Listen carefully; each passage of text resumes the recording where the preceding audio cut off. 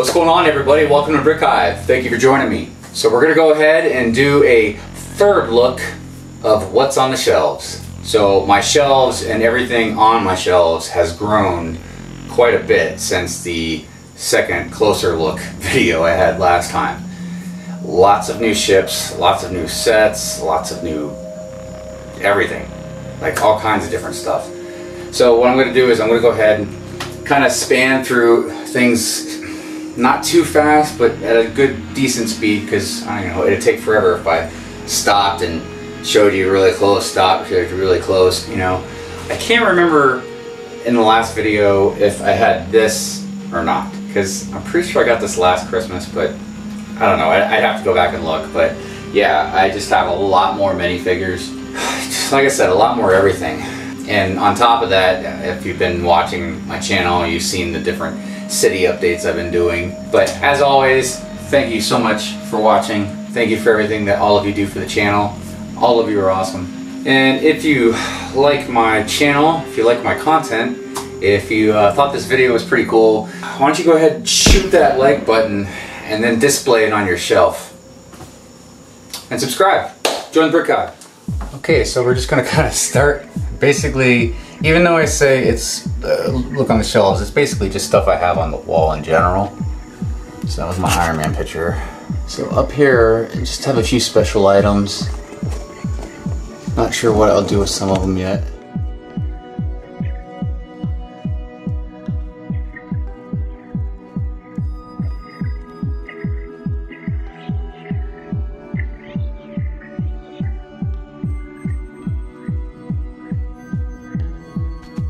So I do have a few custom minifigures. Not very many, but I do have a few. I do apologize if the lighting isn't quite right. It's really hard to do that with the light, you know? I mean, the glass. Because you, know, you just got that reflection. One day I'll get better at it.